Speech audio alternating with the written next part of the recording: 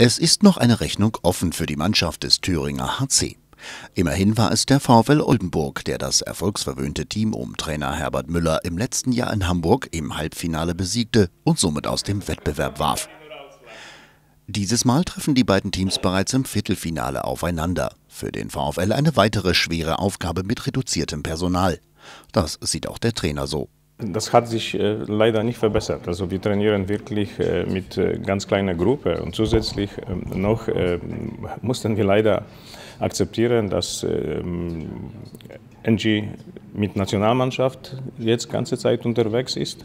Auch ähm, Kelly spielt mit Holländer Quali für Olympia und die kommen leider sehr spät zu uns und ähm, naja, das, das, ist, äh, das beeinflusst sehr stark unsere Vorbereitung. Aber ich weiß, dass auch Herbert Miller mit Erfurt vergleichbare Probleme hat. Er hat natürlich mehr Leute zur Verfügung. Aber die Vorbereitungen sind nicht so optimal gelaufen.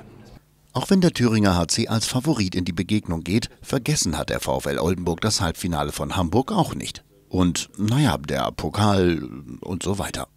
Bei Sport ist alles möglich und wir haben als, als Team schon oft bewiesen, dass wir auch äh, bereit sind, Überraschung zu machen. Insofern natürlich äh, hofft man auch diesmal auf äh, Überraschung. Äh, ehrlicherweise muss man sagen, dass Erfurt äh, natürlich als Favorit hier auftreten wird und äh, das respektieren wir. Aber wir haben ein eigenes Publikum hier in der Halle. Die Halle soll angeblich äh, sehr gut gefüllt sein und äh, das ist natürlich einmalige Geschichte. Wir leben immer mit ähm, tollen Erinnerungen, die uns irgendwie mit Pokal verbinden. Man weiß, dass wir uns bei Pokalwettbewerb sehr gut fühlen. Klar ist aber, dass wir als Außenseiter trotzdem, dass wir zu Hause sind, auch auftreten müssen. Neu ist der Wettbewerb indes für einen Teil der VfL-Mannschaft. So ist zum Beispiel die Niederländerin Inga Smits zum ersten Mal beim Pokal in Deutschland dabei. Und so ganz unvorbereitet tritt sie dem Wettbewerb nicht entgegen. Äh, ja, ich habe das letztes Jahr gesehen und die Mädels haben natürlich ein bisschen darüber äh, erzählt und ja, ich glaube, das ist äh, etwas Extras äh, neben dein, das normale Saison und ja, ich möchte natürlich dabei sein, aber wir müssen erst gewinnen leider. Ja, im Rückspiel beim Thüringer C eine schwache Phase gehabt, aber sonst eher so Richtung Chance und Augenhöhe.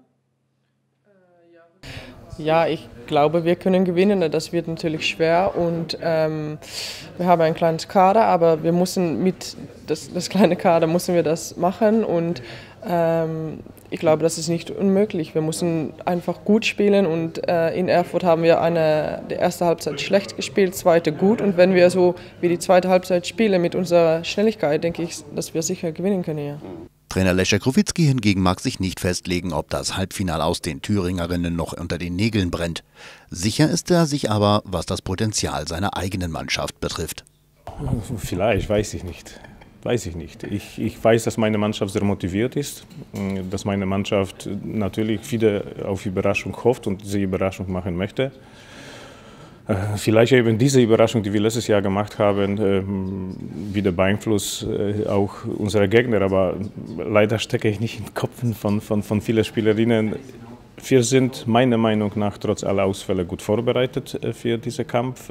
Sicherlich nicht optimal, wie ich schon gesagt habe, aber die Mädels, die ich zur Verfügung habe, können sehr gute Handball spielen und wenn uns ein guter Tag mm, gelingt, dann sind wir absolut in der Lage, auch diese große Überraschung zu machen.